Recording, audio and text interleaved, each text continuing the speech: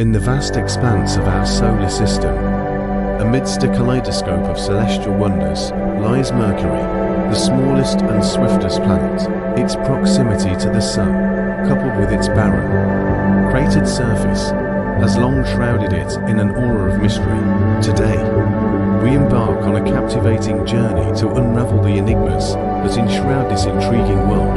Mercury's surface bears the scars of countless collisions with asteroids and comets, resulting in a landscape pockmarked with craters of all sizes. These ancient scars provide invaluable clues about the planet's early history and the intense bombardment it endured.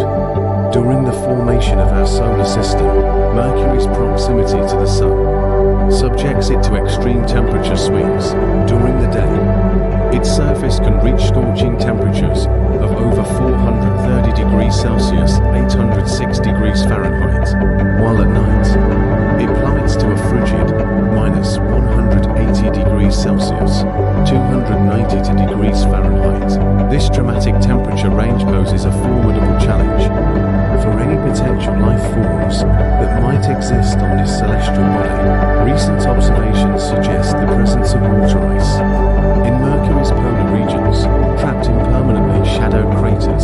This finding raises intriguing questions about how water might have arrived on Mercury and the potential for its existence.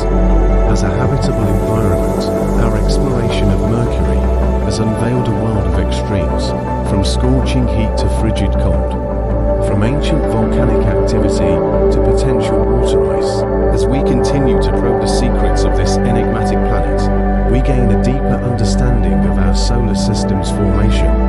evolution, and the potential for life beyond Earth.